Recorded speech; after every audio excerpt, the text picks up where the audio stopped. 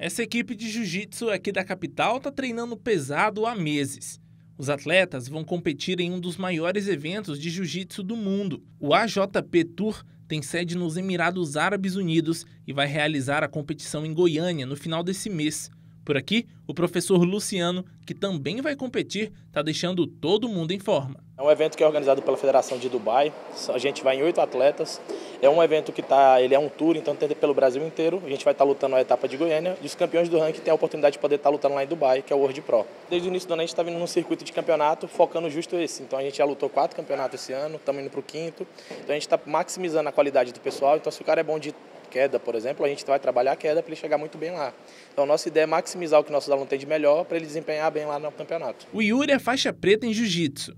Ele já começou a treinar desde o ano passado para essa competição e está confiante. A preparação está mil por cento. Desde o ano passado, acho que dezembro, a gente começou a preparação já para esse ano. Então, janeiro teve competição lá em Goiânia. Essa é a segunda competição em Goiânia esse ano. E a gente está mil por cento. Agora é só lapidando a parte técnica, né?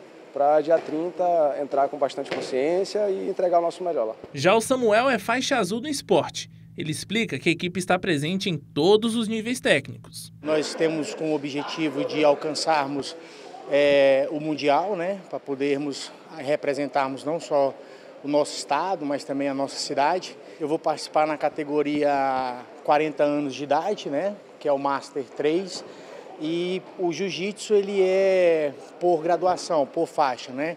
Faixa branca, faixa azul, faixa roxa, marrom e preta. Conforme as cores são o nível técnico alcançado de cada atleta, de cada competidor.